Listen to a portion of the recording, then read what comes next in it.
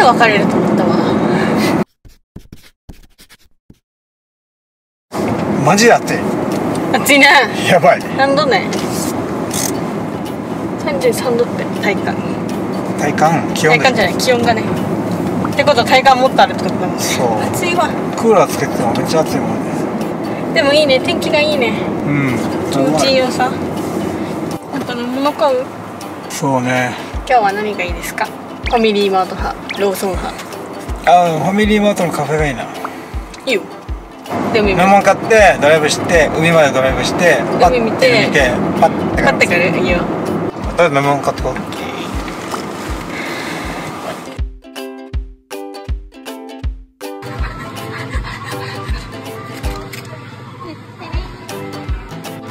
ミルクティーがあんま好きじゃない俺には分からないこれはビッグ。今日は暑いしいっぱい飲みたいからビッグ大きいのうん。イエーイビッグビッグ。できますか。どうして君のことうまいしい？うん。美味しいよね。えも美味しいの？ミルクティー。ちょっとね。うんいいよ。ミルクティーだねでも美味しいね。苦手じゃない。多分今俺飲んだとこミルク多めのとこ飲んだかもああそう真ん中だったでしょ。はいはいミルクだってだから分かった。美味しいんだよねこれ。最近あれだね平和だね喧嘩もなくて。そうね喧嘩へ喧嘩うん全然してないんじゃない？すごくない？最初さマジでさ毎日喧嘩してたじゃん。いや同棲した最初ってこと。同棲した最初と1年間くらい。マジで喧嘩やってる最近ね何があったんだろう？で一番はあれだって絶対最近の中で変化うん。としては俺とエリーがこう常にまあ感謝とうん。愛っていうところの、なんだろうこうところに目を向けてるじゃん。まあそうね。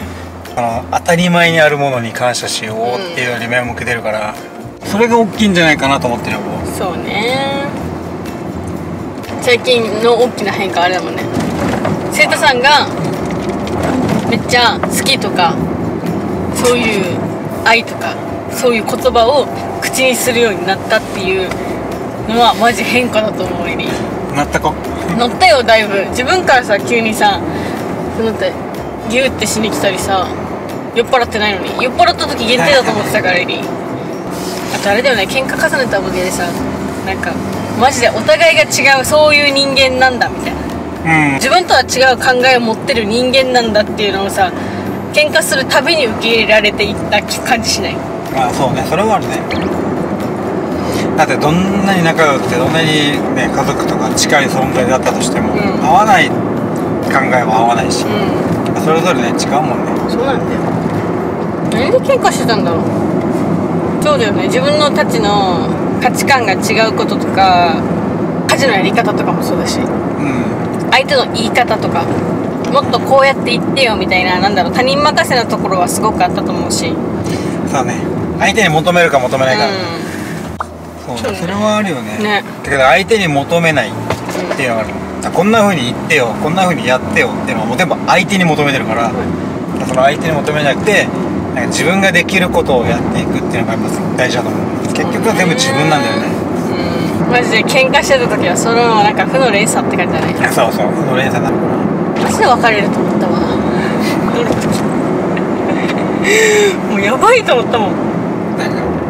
週7とかじゃないさ、まあ、週に10回ぐらい喧嘩してるさねあの時期もやばい時期って、1日2回とかはするからそうねそうそう。なんでこんなにもエリの言ってる言葉が伝わらないしなんで伝わってないのかもわからないしどうやって伝えればいいのかもわからないしじゃあ自分がどうすればいいのかもわからないしうわーみたいな感じだったからなんかあれでしょ。うまく伝わらないこととかもうまく伝えられない自分にモヤモヤしてるのを全部もうぶつけ全部ぶつけに来るから俺どうしようもないやつみたいになってくるし。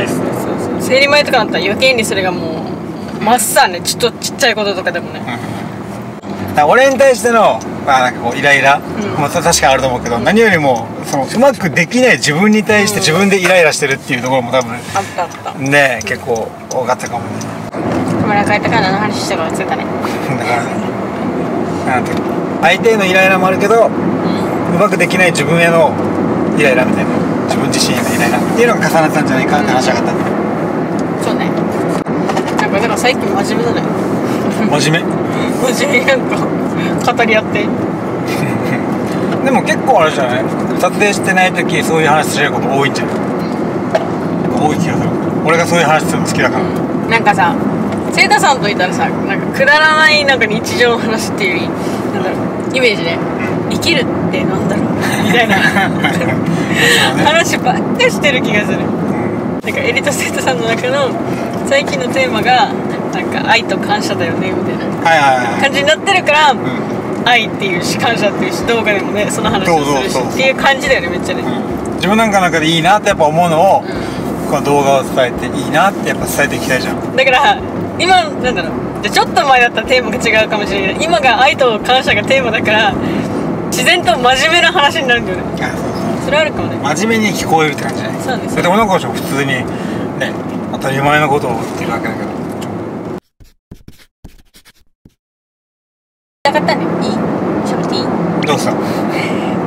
なんかさ喧嘩したら良くないとか喧嘩してた方がカップルはいいとかはいはいはい喧嘩するほど仲いい的な、うんうんうん。とかなんか両方意見があるじゃん。あるね。でやっぱ自分たちがこの喧嘩しましたとかうん話した時に自分たち喧嘩しないので羨ましいですって来たりとかするしそうだから両方あれさねやっぱその喧嘩してる多い人少ない人とかさな喧嘩全くしない人もいるしそりゃ。だからでもさなんか喧嘩したからいいっていうわけでもないと思うわけさやっぱ。そうね。なんか喧嘩多すぎたら正直ね本当に疲れるしそうね。心の疲れすぎてもお互いを気遣うとかもできないし全然。できなかったなってエリは思うし。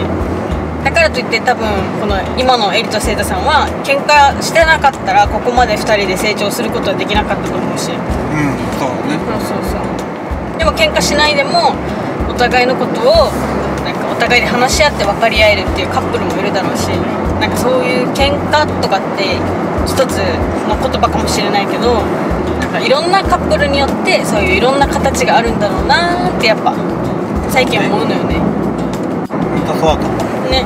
だ喧嘩するしないがポイントじゃないと思うんだようお互いを理解し合うような時間がん。あるかないかがポイントだと思うんんですよね。そうねそれはかも。でそれがたまたま、まあ、喧嘩した時にそういう時間になりやすいから喧嘩すると仲が深まるよねって言われてるだけそうそうそう。ねだけであってそうじゃなくてもね日頃からこうやってお互いの考えをなんか話して理解し合ったりとか共有してたら別に喧嘩する必要はない。と思ううん。あえてねエネルギー使って。いっぱい喧嘩もさするけどさ絶対これからエリとセイタさんの性格上も。う絶対喧嘩全くしないですこれからってことはないと思うわけないだろうね。それは絶対に喧嘩するよ。そう。絶対にすると思うわけさ。ただでも喧嘩しても一緒に「ごめんなさい」とか「こうだったね」とかお互いで受け入れられるうん。ところを見つけて「ごめんなさい」って一緒にできたらいいなって思うよ。うん。そうね。それは大事ねだからもうどうしてもねなんか付き合ってたりとかさパートナーとか近い存在になるとさ無意識にだよ。なんか勝ち負けみたいなこうなんかこう思考が働いてしまうからどうしても。なんかね負けたくないとかさなんかこう譲ら譲りたくないとかいう。この人には言われたくない。そうそうそう。近いからこそ起きるんだよ。そうだから思うんだよ。なんでなんで友達とか家族とかには喧嘩したりしないのになんか彼氏になった途端喧嘩するんだろうっていう自分の中のこの葛藤みたいなのがまた苦しくなるよねそういうのもまた。だからそういうのは近い存在だったらもう起きるものとして前提で最初から分かってると、ん。起きた自分がおかしいんだと思うねさ、うんああじゃあそれだけで思ってるんだな相手のことをっていう証拠だと思うんですよ。で相手のことを思ってるっていう気持ちはまず受け入れて自分の中で。ではじゃあどうやったらうまくそのなんていうの相手に対してモヤモヤしないかとか嫌な感情を持たないのかっていうのをまあ一人でじゃなくて二人で話すのが一番いいよね、うん。絶対。いいこと言うな。らうん。って思うよ俺はありがとう。うん。そういそう言ってくれたら嬉しいな。なんか相手のことを思ってるからみたいな言ってくれたりもなんかちょっと心そっかってなんか自分だけが悪いみたいな感覚になるから自分が悪いとかじゃないんだ。なって相手を思ってるからこそそうやって喧嘩みたいなところにつながってしまうんだなって思えるし。そう。なんですよりがとう。持ってなかったら喧嘩しないから。ありがとう。はい。ありがとう。どうでもいい人が喧嘩しないでしょ。だねどうでもいいから喧嘩してぶつかっちゃうこともあるんだもんね。大切な存在だからこそそうやってぶつかってでも話し合いたいって思ってしまう心がねそうなんだよ。出ちゃうのかもしれない。甘えたいっていう気持ちもあるしね。もっと自分のお願い聞いてみたいなとこもあるのかもしれない。そうだよね。自分のことを分かってよ理解してよっていう思いは喧嘩になりやすいから。さそう分かってほしいんだよね。どうしてもね。分かる。エリはそのタイプだから分かる。人によってはそのペースとかね理解のする量も違うから。それを受け入れてあげるといいかもしれないね。じゃあもう行っていい海に？いいよ海っていいよふう海行こうぜ。イエーイさっきの海